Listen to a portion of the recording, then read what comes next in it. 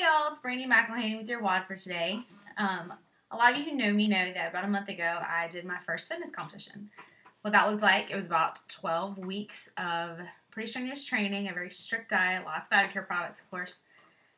um, and it was a blast. I had so much fun. But one of my friends, we were talking afterward, and she said, I just don't know how you did it. How did you go 12 whole weeks without, you know, cookies and pizza and sweets? And kind of caught me off guard because you know, the, the way I saw it, I wasn't, I didn't set this goal so that I could say, you know what, I went 12 weeks without cookies and pizza.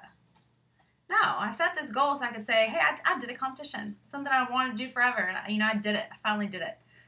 Um, and that kind of got me thinking, you know, what, what are you focused on in your Advocare business? Are you focused on cookies and pizza, or are you focused on that competition?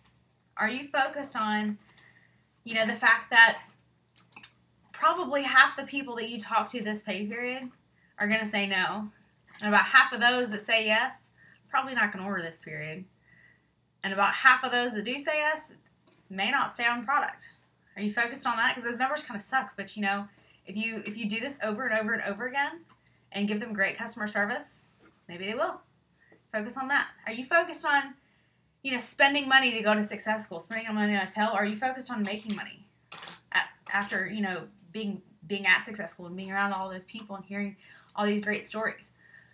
You know, are you focused on having to, you know, have a mixer at your house? Or are you focused on all the people that could actually, you know, really benefit and come into your business because of that mixer?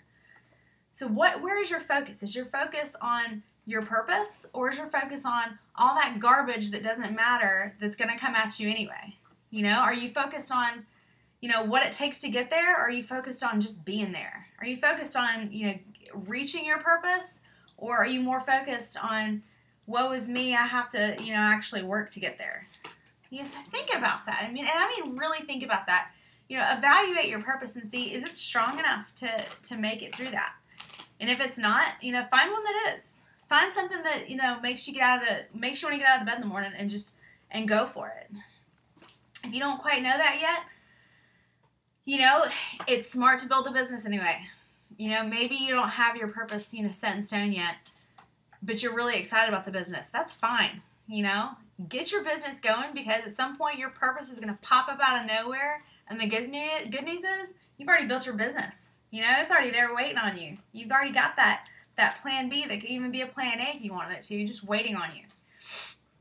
So, you know, that's my encouragement this week is, you know, where where's your focus? You know, stop focusing on the cookies and the pizza. Guys, start focusing on what matters. Get to success school. You know, get there. You know, no matter what it takes, just you know, get to success school. Use the success system focus on your goals. Stop focusing on the garbage. So that's all I got for y'all today. Y'all have a great weekend, um, and I hope I will, I will see you all at Success School.